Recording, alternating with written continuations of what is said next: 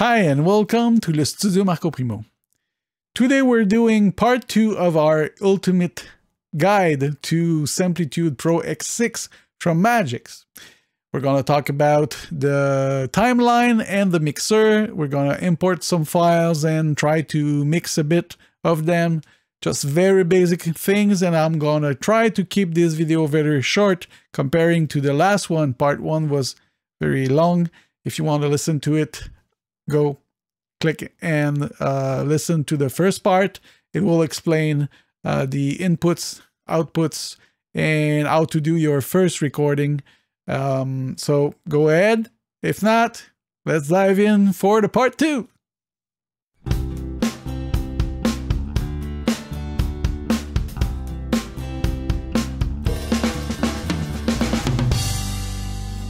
All right, we're gonna create a new project and we're gonna name it part two and put it in our beginner samplitude uh, folder.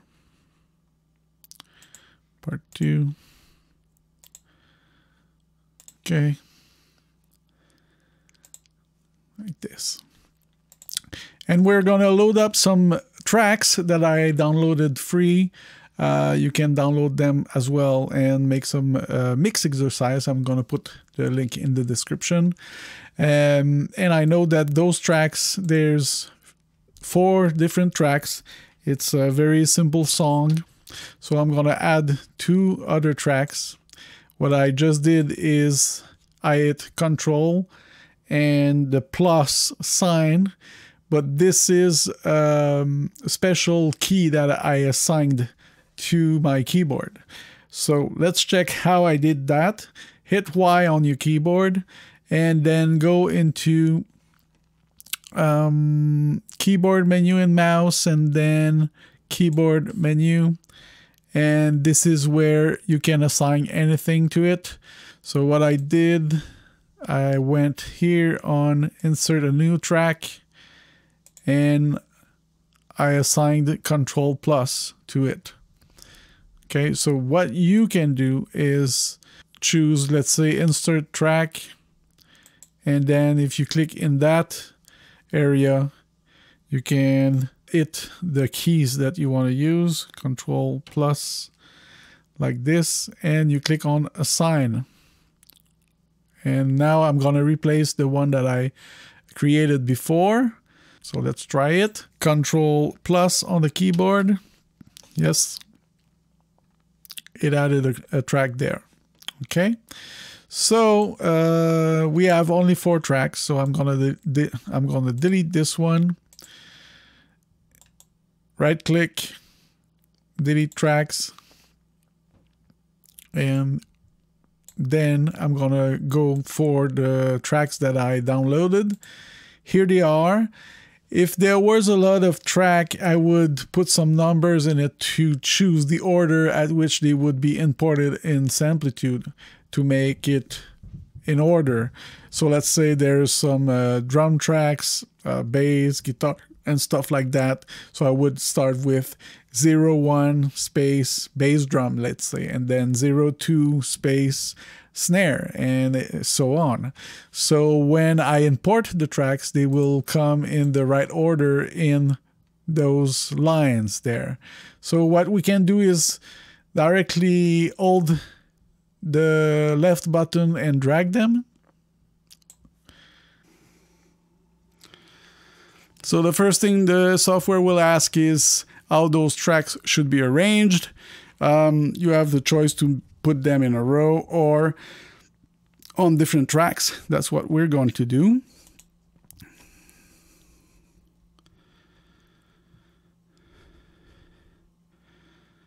All right, and now uh, if we push play, you should hear something.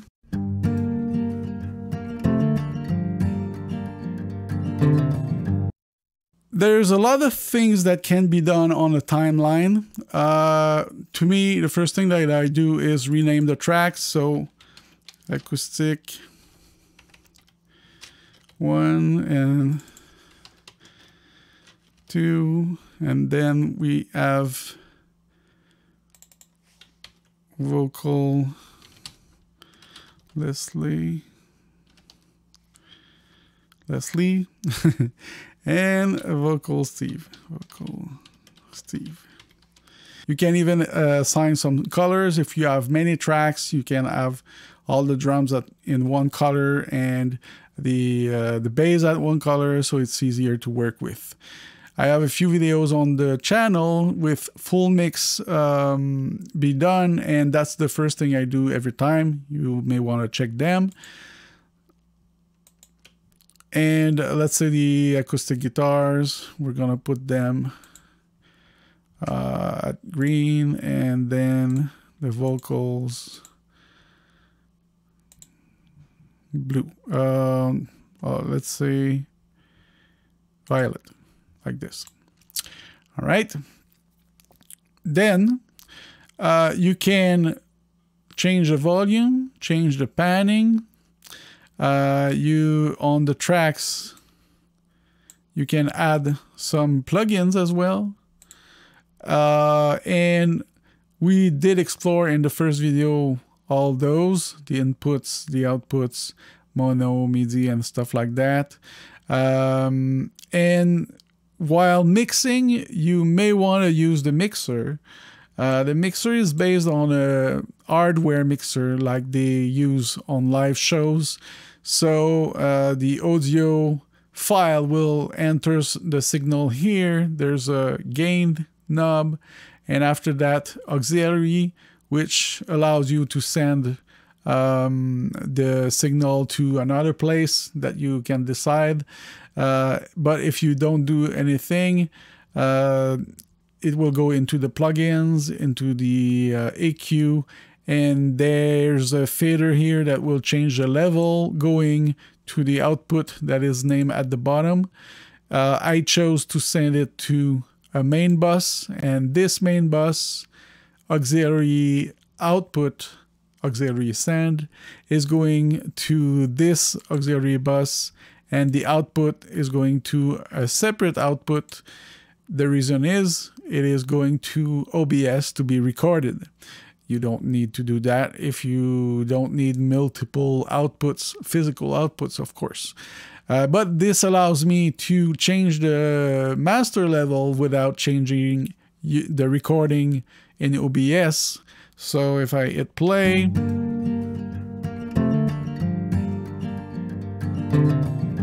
I change the master volume and there's nothing uh, changing for you in your ears. Let's uh, play with the mixer a tiny bit. First thing I hear is those two guitars plays uh, different partitions so they can be maybe spread left and right. So we're to do that.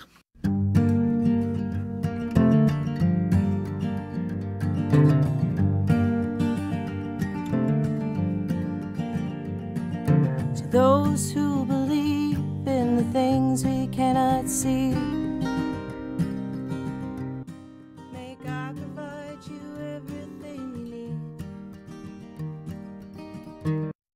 It seems that the guitar is playing as well in the vocal mic.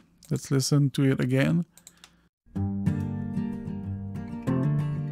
And then uh, on the Steve's vocal. Yeah, as well. So this complicates stuff. Uh, bleeding from mics to mics if you want to mix. So what I should do is go into a place where the guitar and the vocal are playing at the same time and try to balance the level. So now I'm using a controller so you will see those fader move but they are controlled uh, not with my mouse but with the controller okay so let's see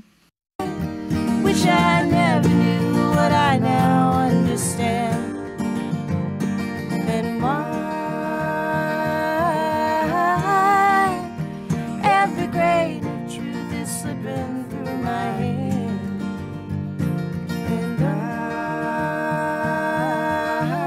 I so you see what I did? I changed the levels and I changed the uh, the the panning and that's it. Uh, it's it already sounds better again.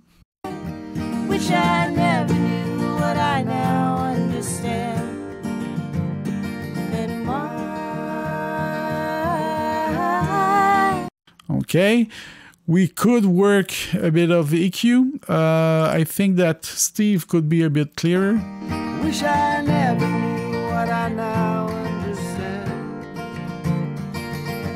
You can do it with the onboard EQ right here. Uh, there's some uh, frequency already set. You can drag up and down to change them. Uh, or if you want to go simpler, just right click on the little square and it will open the EQ like this. So let's listen. Wish I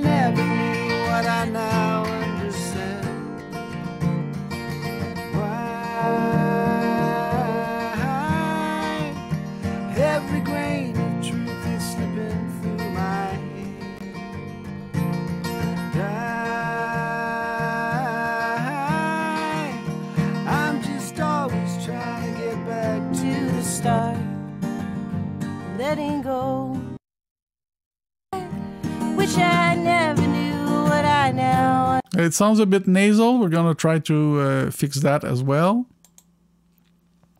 Wish I never knew what I now understand. And my every grain of truth is slipping through my hand. And I Let's listen to the old mix. wish I never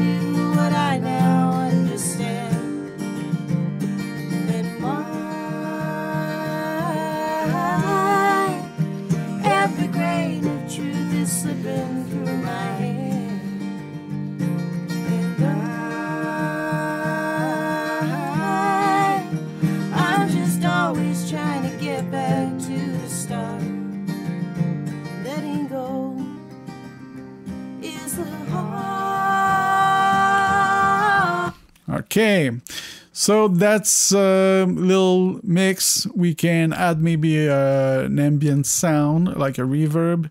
So on my auxiliary bus here, I'm gonna add a reverb. Uh, let's go to one included in Samplitude. Reverb. Okay, and we're gonna choose a vocal plate maybe. Let's put it in maximum mix. Uh, this allows you to uh, enter the original signal into the output of the plugin. But since we are on a bus already, we're going to put it in maximum. And we're going to send some of the vocal tracks to this bus uh, right here, auxiliary 1, aux 1. We're to start, uh, let's see, uh, around 9, like this. And if we solo now the reverb only, not bad.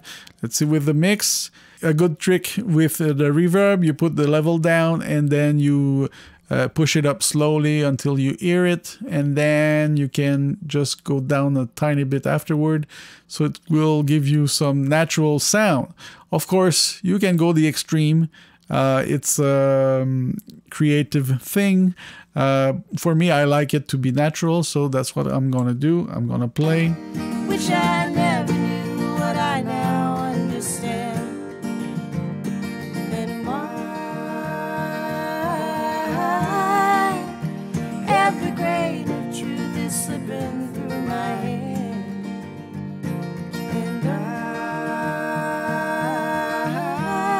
Okay, maybe a bit on the guitars now. Maybe like this. wish I never knew what I now understand. And my every grain of truth is slipping through my hand. So you just saw some very simple mixing. There's a lot of tricks you can do with the timeline once this is done, uh, like automating some levels. Right here, this little arrow, if you click on it, it will show you the automation lane. And then you get to choose what you want to automate. click on the effect and you can choose volume, panning, uh, and bunch of stuff. Even the EQ can be uh, automated. For now, we want some volumes. And as you see, it creates a line and you can select the part that you want like this and go and change the level of just this part. Actually, we could bump up the level for the first part. It will be better like this maybe.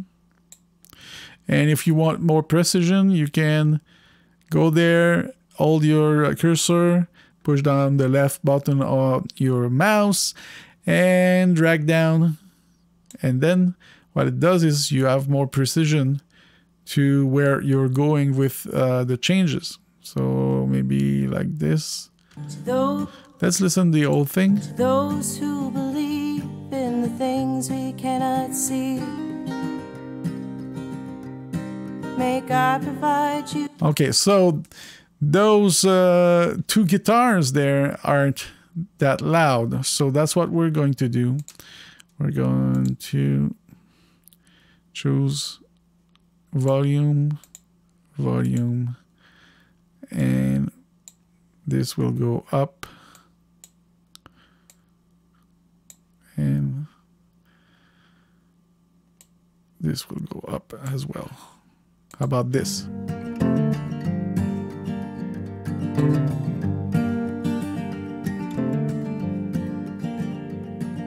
To those who believe in the things we cannot see. May God provide you everything you need.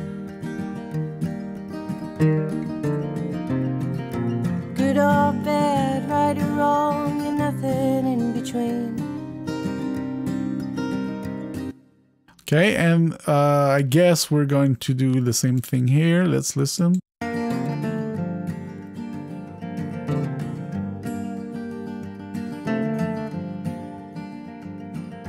those who never dwell on their own mortality. Okay, so we're gonna push it up right here and then here and here a tiny bit too. Let's listen.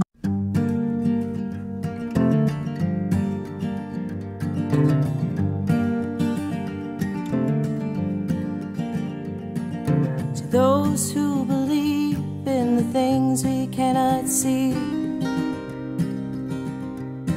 May God provide you everything you need.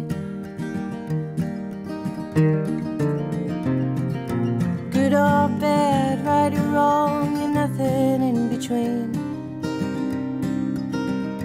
Where the end is there to justify the means.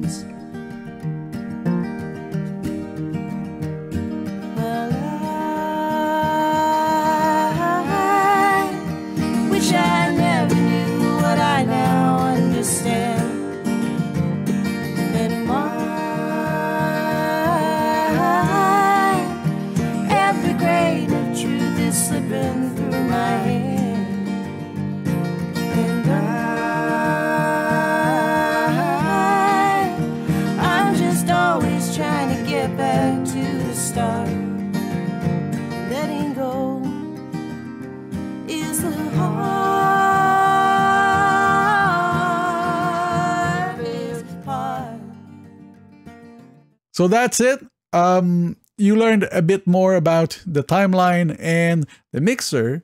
Uh, of course, if you have any questions, put them in the comments.